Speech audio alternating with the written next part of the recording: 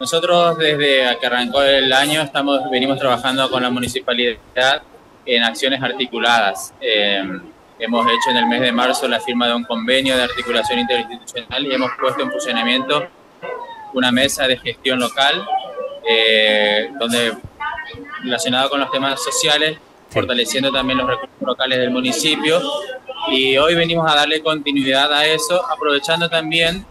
en el marco de la entrega de las cajas alimentarias del programa alimentario provincial,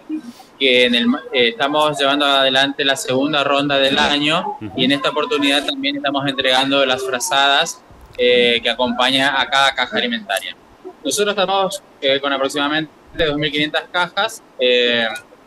lo que hacemos es, tenemos puntos de entrega de manera tal de que la población pueda tener el acceso en cada lugar Música